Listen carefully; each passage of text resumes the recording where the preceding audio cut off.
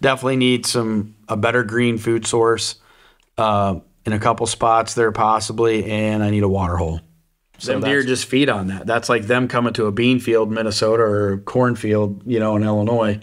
Um, they just don't have a lot of that there. So don't have a target buck by now located on that piece, and you feel like you've done enough recon work, then I would be patient. You know, uh-huh. you might. I'm kind of an edge guy. I kind of just depends on the time of year and what I. Sometimes I need to get aggressive, and sometimes I don't. When I need, and I'm already trying to figure that out for the next day from the night before. Like it helps you plan those kind of things.